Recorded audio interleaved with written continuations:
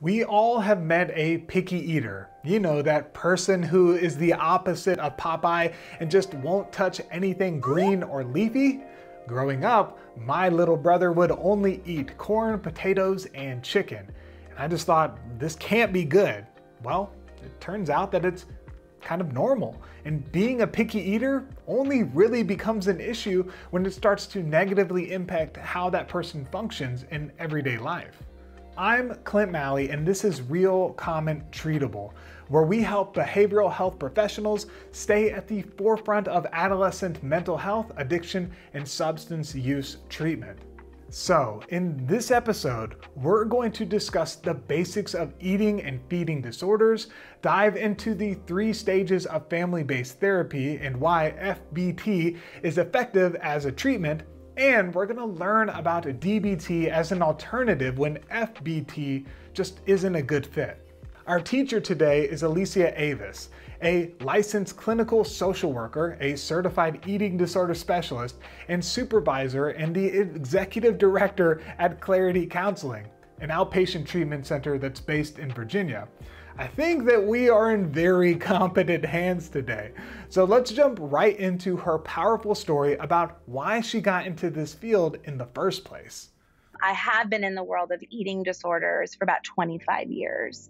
Um, I come from a long line of people dealing with eating disorders, three, four generations of family. I feel I've had some form of an eating disorder. I was someone who was on the other side of the couch, and I didn't enter into the field of eating disorders where, okay, I want it to come full circle. It just worked out that way. My field placements were in eating disorder treatment centers, and the complexities of the pathology, it was just really so fascinating because there's the family component, the trauma component, the, the body piece to it. Yeah. Besides it being something that's just incredibly interesting and complex, it does hit close to home. But I was definitely in a higher level of care and was one of those people who've been through the system back in the early 90s, mid 90s, where they treated eating disorders very differently. We didn't really know about eating disorders until Karen Carpenter. I think it was People magazine did a whole spread on her and then it was like, "Oh, whoa, okay, this is this is a real thing." But even in that that article, you turn the page and there was a model that was just as thin as Karen Carpenter who had passed passed away and died from an eating disorder. And the prognosis was a se- it was a seven to ten year sentence where okay, you got diagnosed with this thing that nobody really knows about. We don't really know how to treat them. We're going to remove the child from the home. And for me, it was a journey, but at the same time, I know I got out roughly 20 years ago. I don't have an eating disorder, but I had one and have been through the the system and the program. And so I'm I'm on the other side. It's interesting now to see it from this perspective and visit the treatment centers and whatnot but it's definitely personal. And in addition there's other people in my family who've had eating disorders and some people who have not gotten better or people where it was other expressions that played out because they didn't have proper treatment and they didn't receive evidence-based interventions that we know are researched. And I believe and work from this position that eating disorders are treatable, they're curable, they require treatment, and it's something that does require work. But this isn't a life sentence. It isn't something that you ever, you don't have to forever be sick with, but it does require treatment. Yo, I don't know about you, but I just got the tingles. Like, what a message of hope. This is someone who has been on both sides of the couch, who has personal experiences with an eating disorder and has overcome her situation. Powerful stuff let's find out about what an eating disorder actually is and how they manifest. When I think about eating disorders, we all live in a body and we all need to fuel our bodies consistently in order to sustain life. And so there's in some ways an addiction component, but it's treated very differently than substance abuse and alcoholism because you need food in order to sustain life and you need to live within your body. DSM, that diagnostic manual that we use, they classify it as eating and feeding disorders. And there's nine different types of eating and feeding disorders. The ones that we think of when we hear the word eating disorder will probably be anorexia nervosa, bulimia nervosa, binge eating disorder, and most recent ARFID, which is avoidant restrictive food intake disorder.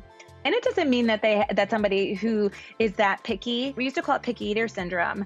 Uh, is has an eating disorder. A lot of people have disordered eating, food rituals, things like that. But what crosses over the train tracks is when it really spirals out of control. It's impacting their functioning, their daily lives. And I think some of it is what we're finding. It's really not just a pure eating disorder. And this is where I appreciate Sandstone so much is and where we we collaborate frequently is it's very rare that you meet someone where it's it's just a pure eating disorder. A lot of the time there's substance abuse or addiction or trauma. People on the spectrum uh, you'll find who are essentially showing signs and symptoms of an eating disorder that may or may not have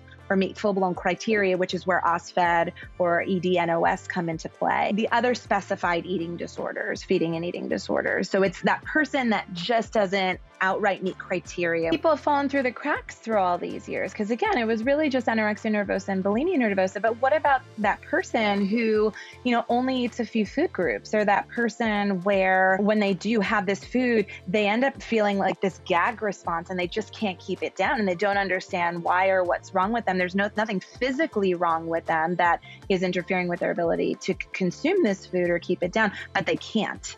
And those people would fall into those feeding disorders criteria. So there seem to be a lot of classifications and defining components of eating and feeding disorders. But what exactly is the difference between an eating and a feeding disorder? When I think of eating disorder, I think restriction, I think fear of weight gain, I think control, guilt, shame, loss of control, right? When it comes to body. When I think of some of the feeding disorders that exist, like rumination, those people a lot of the time want to be weight restoring. They want to be quote unquote normal or have a healthy and balanced relationship with food and body. But there's just something within them, within that nervous system, right, where that is interfering with their ability. Or, and, and I think that again, it could be trauma, it could be texture. I have a lot of clients where they'll say, I'm just a super feeler. I have a superpower. These foods just make every every hair on my body stand up. I cannot swallow this. And they have these different food rituals. So, in my opinion, like the feeding disorders would probably more classify on that end, whereas the eating disorders, you're going to have more of that body fear of waking, that stereotypical eating disorder come into play. To me, they're all quite serious because there's a 10% mortality rate with eating disorders, very high. Now, I'm sure, like anything else, there are some common misconceptions about eating and feeding disorders. I think this is a misconception with eating disorders and feeding disorders is that people lose their appetite or they don't want to eat or they're not eating. Most people are eating. They're just simply not eating enough. Even with binge eating disorder, most of the clients that I work with who sit in larger bodies even are are very malnourished. They're not getting in proper fueling and nutrition. They're not eating enough during the day. They're getting enough fuel in their system, but it's not the right types of fuel. So not all eating disorders are the stereotypical ones that we think of. And in general, no matter the classification, the people struggling with this just aren't getting the proper nutrients. Now that we have defined what eating and feeding disorders are, let's look into who is most commonly affected. Anorexia nervosa traditionally will onset around pre-puberty timeline. Bulimia nervosa average age is going to happen high school, college age. And so, and BED traditionally a bit later on, that's college, whereas bulimia, high school, college, anorexia, usually uh, middle school, late elementary school. You'll see a, a major genetic component to it for sure. Anorexia nervosa is pretty genetic of all of the different pathologies, whereas with bulimia and binge eating disorder, we'll see a family history of alcoholism, we'll see trauma, we'll see a lot of family conflict. So some of that you can see maybe in the genetic predisposition, but at the same time, there's not one gene. What we're finding is that there are multiple genes that when they come together, that put someone at risk. All right, we're finding that these disorders are really manifesting themselves on early in life typically late elementary to college ages. So I wonder what environmental factors may be contributing to this early development and what actually causes the development of an eating disorder.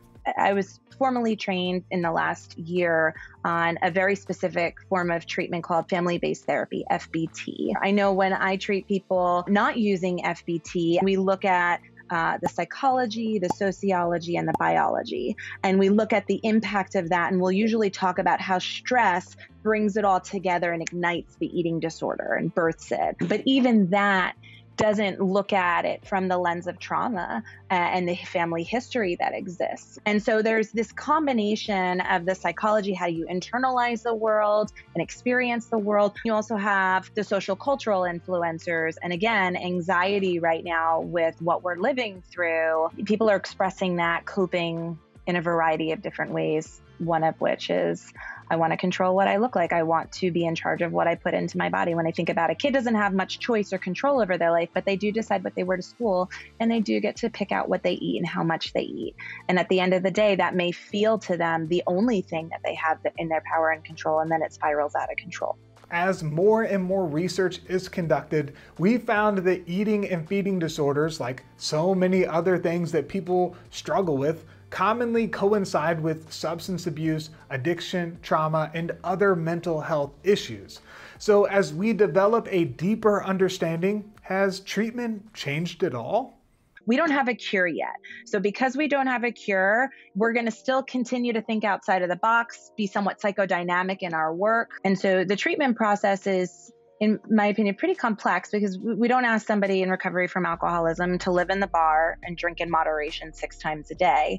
But we're essentially asking that for our clients who are in recovery from an eating disorder. And food has really spiraled out of control. And years ago, gosh, even in, in where it gets personal for me with eating disorders back in the 90s, people, the, the family was seen as the problem. Um, you would remove the child from the home. And we used to use 12 step. We used to use cognitive behavioral therapy, get better with your collaborative treatment team, and then you return back to the home. Average length of treatment from start to finish for full complete recovery was seven to 10 years. So think about the age of onset for anorexia nervosa and the brain of like 10 or 12 year old and then the brain of a 17, 20 year old. That's crazy to think of. Okay, is it the treatment? Is this just neurodevelopment? What's going on here?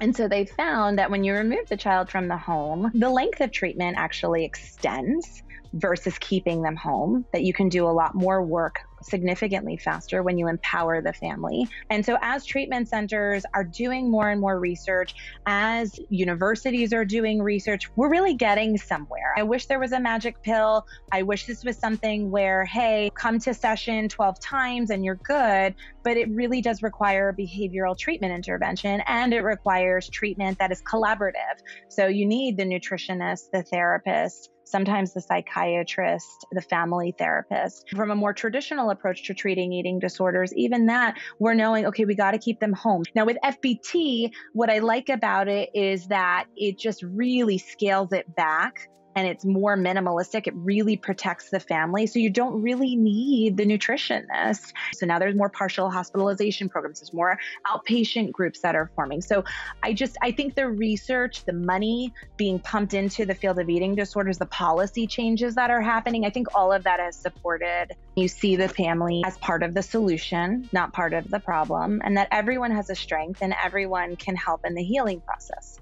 Okay, so removing an adolescent from their home for treatment has proven to lengthen the recovery process. But in the same token, it can be detrimental for them to remain in their family environment, especially if it's unsupportive. I know here at Sandstone, we believe in including the family in treatment therapy. And that way, everyone is properly educated, empowered, and aligned on the mission. But what does family therapy look like and how do you know if it's right for a client? FBT is specifically meant for adolescents struggling with anorexia nervosa. Although there's more research that's starting to come out to utilize it for bulimia nervosa, but where the research sits, and I'm a research junkie, is anorexia nervosa adolescents. So, say I get a 12, 13 year old who is dealing clearly with anorexia nervosa, we would then start FBT, if the family, everybody's on the same page, they're committed to doing it, we adjust, you know, our lifestyles accordingly to be able to support our, our meals. What it basically says is in about 10 sessions, 10 weeks, we're going to be able to weight restore. So you, it's, and I don't even really love doing it with a 16 year old and older, just because if you have a parentified 16 year old, they're really going to buck and struggle with parents taking control and developmentally, how appropriate is it? 18 um, year old, not a good candidate. There's a lot of good that's coming from family based therapy. It really does reduce the length of healing significantly. The cost of treatment reduces exponentially and the child or the individual is protected because they're staying in their home in their natural environment. So I just I see a lot of good. It's really it's overwhelming to me just the, the keeping someone in outpatient treatment. You have a medical doctor you have a provider. At the end of the day it really could just be that. Sometimes you'll need an rd on the case. Parents are saving hundreds of thousands of dollars. Now granted there's very it's a very strategic form of treatment. It's a three phased approach. Um, it's essentially all hands on deck and then some. So sometimes you're grabbing grandparents and aunts and uncles. All right, the family is on board and you're ready to begin treatment. Phase one of FBT is that parents take complete control and clinicians act more as consultants. In phase one, parents are taking complete control back with food and body. So child is not fueling themselves is one. So think about when like I, I have two little ones at home. I am in charge of their food. I decide what they eat, when they eat, how much they eat. And if they don't eat, they're not watching TV, they're not going out. I'm in charge of that. And so we're going back to the basics with FBT. You're empowering the family, you're empowering the parents to make decisions. And so I'm coming in as the expert teaching tools and skills and coaching FBT is like a totally different beast. I'm a consult to the parents. The parents are in charge. The parents make all the decisions. And so when they come and ask you questions, not that I'm coming back and saying, What are your thoughts on that? I'll answer their question if they have a question for me. But they're coming in driving driving the show. Clinically, phase one usually consists of around 10 sessions. But it's important to remember that at this phase, the adolescent doesn't have any control of their body because the disease is still making the decisions. So for this phase, it might extend past 10 sessions, and that is okay. For FBT, first 10 sessions you meet weekly with parents. The first few minutes you get the weight, you meet with child or adolescent to just check in. The bulk of the session, the rest of it is with the rest of the family. And you're unpacking what happened within the week. Where can we improve on? Where not? Where are the gaps of the empowerment for the parent? But even siblings are, are part of this process. It's entire family. We're doing that for about 10 weeks where parents take complete control back from the food. Come session four, we're going to have a solid prediction. If someone gains a pound a week, we know that we're going to be able to really do this on the fast track. If they're not, that means that their um, probability that they're going to accomplish a full and complete recovery in a, in a pretty nice timeline, it tells us that this is going to be a rough road. It's going to be a long road. So we'll know by session four, by week four, somewhat it, it foreshadows the length of treatment and whatnot. So I've done this work where come week four, gaining a pound a week. At the end of 20 sessions, we're done, we're graduating, you are cured from anorexia nervosa. I've done other families where we've utilized this in phase one. Come week four, maybe they've gained a pound and a half. And I am then now sharing with the family, okay, we did not meet our goal of a pound a week. I need you to prepare yourself because this may be a longer road than what we initially anticipated. And that's very much so the case. Um, you have to remember it's uh, the relationship with food and body is spiraled out of control. So to ask that child to take control again, or what do you want? What are you craving? The child's not making that choice. The, the eating disorder, the, the addiction, the disease is making that choice. And so to remove that pressure from them is a significant relief. But there comes a point where they start wanting it back they're wanting those choices they're wanting that freedom and that independence which is completely aligned with uh, you know what is developmentally appropriate and age appropriate if they're at their goal weight at the end of 10 weeks we enter into phase 2 phase 2 is when you give them back some choice and control. When food's not as hard, we don't have food violence, we're not having this back and forth, you're completing everything that we asked you to do in a timely fashion. You're even starting to initiate and say, hey, it's snack time, mom, dad, where is it?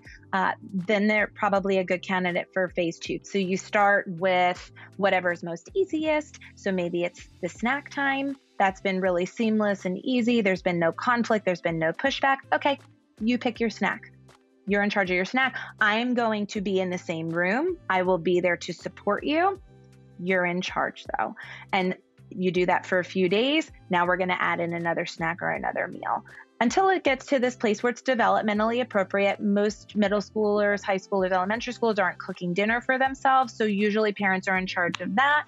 but you work your way where parents are there, but they're not controlling and serving and plating. Child starts to take that choice back. Now, you do that for another, let's say, five more sessions. At this point, you can meet every other week, maybe even every three weeks. And then as you've now integrated all of that, they've continued to stay weight restored and maintained more time. Phase three, the final phase of FBT, the adolescent takes back full control of their eating, and we see the reintroduction of social activities. Now we are ready for phase three. They take all of it back. They're in complete control of their food, which what is developmentally appropriate. And now we start to add in more life the social stuff, the activities, and we continue to monitor. Phase two, you'd flirt with it a little bit. So maybe it would be, hey, can I go to the sleepover? Yes, we will eat dinner at home. And then you are in charge of your snack and you will be in charge of your breakfast in the morning. But I'm going to ask that parent to monitor that for you. And they're going to be stepping in and being a part of this, this process with us. Phase three, you're not having someone monitor it because also the relationship is significantly more repaired. Where if that child, and what I found when someone's in phase three, they'll come home from lunch and they'll have the foods that they didn't consume in their lunch bag because that's agreed upon within the family. And then they'll say, Oh, I was going to eat that a little bit later. And so there's still a dialogue and communication that's happening, but now it's more child led versus parent led because it's most appropriate. They're ready for that. But at this point, we're meeting maybe once a month. I'll grab the weight in that check. We may even start to phase back on that weight check. And then they graduate. They no longer have a diagnosis of anorexia nervosa and can move forward. They can always go in for a tune up, but at that point, parents know what to do. So if they see anything that looks a little funny or a step back or a slip up, they step right back in. And if they need to go back to phase one, and integrate that step to phase two, phase three, but the parents are really empowered to know what they need to do. But what if the parent or family just isn't ready to take full control of the situation? Can treatment centers provide FBT? No treatment center will be able to if really truly use FBT because FBT, family based therapy, was meant to be keep the child home. Most of them, where they're treating adolescents, will do a modified FBT where the treatment center, in many ways, becomes the parents and they're the ones doing the refeeding. Most treatment centers are going to use a combination. That is their bread and butter DBT, dialectical behavioral therapy, ACT. So, family therapy sounds like a great option. But what if the teen that you're working with just isn't a good match for this type of therapy. Is there another kind of treatment that may be a better fit?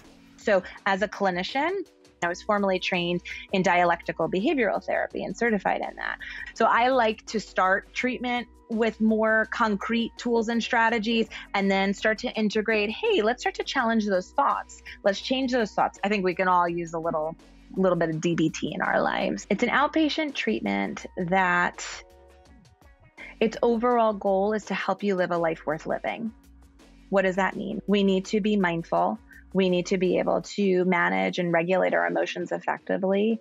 We're going to need to tolerate stressful situations, even though we don't like it. It is what it is, and manage eh, relationships effectively, get our needs met, set boundaries, maintain self respect. There's a lot of physical representation with eating disorders, and DBT really does a good job targeting that impulse piece and that regulation of emotion. So, usually, people are dealing with really big feelings.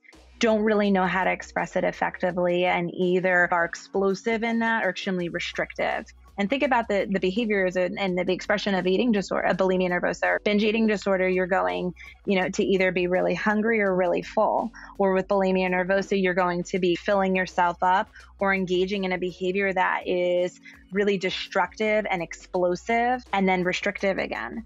And so emotionally, a lot of the times we behave in that way where we're all controlled and everything is fine. I'm fine. And then we start screaming and yelling. And then I'm so sorry. I'm so sorry. Let's clean up the pieces. And then I'm fine. I'm fine. I'm fine. And we engage in this cycle of emotion. But if we want to build a life worth meaning and, and worth living, DBT gives a, a nice little roadmap, I would say. Listen, y'all, we've ingested a lot of information. Get it? Okay, maybe not the best joke, but we've learned what eating and feeding disorders are, walked through the three phases of family based therapy, and explored DBT as another option. It's pretty obvious that eating and feeding disorders are real, and they are also more common than we think. But thankfully, with the help of professionals like you, they're also treatable.